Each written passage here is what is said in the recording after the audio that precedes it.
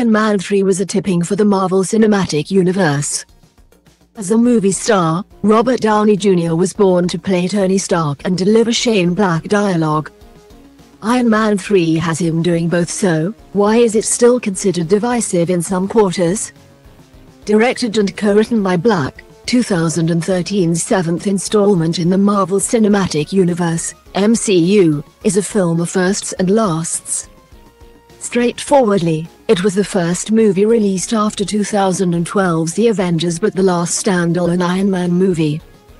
And in practice, it's the first Marvel Studios outing to reckon with what came before. And the last one to upend fan expectations so gleefully. One year after the crowd-pleasing team-up. Iron Man 3 gives us a darkly funny, willfully subversive trilogy closer with nothing like the current MCU's commitment to a status quo.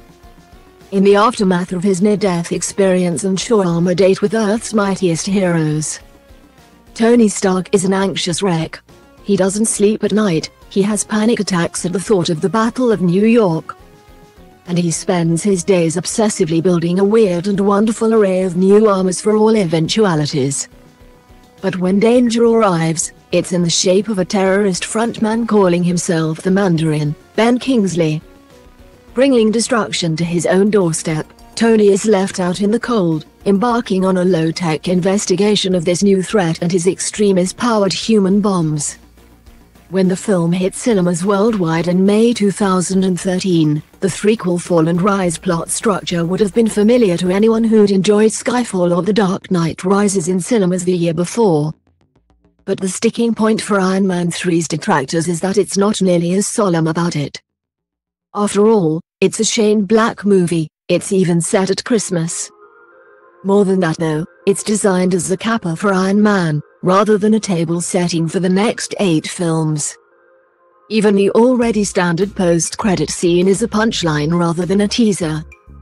2021's Shang-Chi and the Legend of the Ten Rings went one further, dealing with another problematic adaptation by replacing the title character's dad from the comics, actual Fu Manchu, with this real Mandarin, Tony Leung, and further bringing back Slattery, a one-joke character, to deliver crucial exposition. He's functional, but without the fun of his original appearance.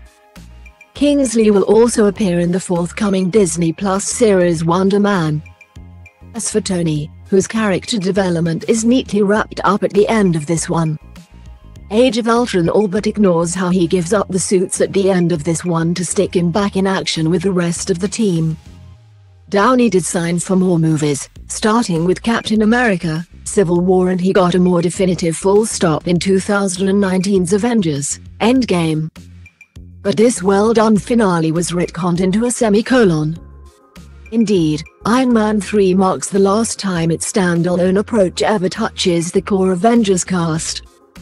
Successive Captain America movies tee up further Avengers installments to one extent or another.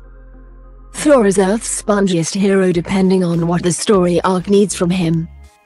And even the long-belated solo Black Widow movie, Something, Something, Toy Making, now seems to have been tailor-made to introduce the cast of next year's Thunderbolts movie.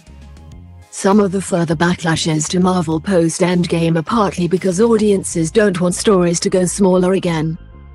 As this one did after the first Avengers but also that the movies are neither standalone stories nor apparently building to something in particular.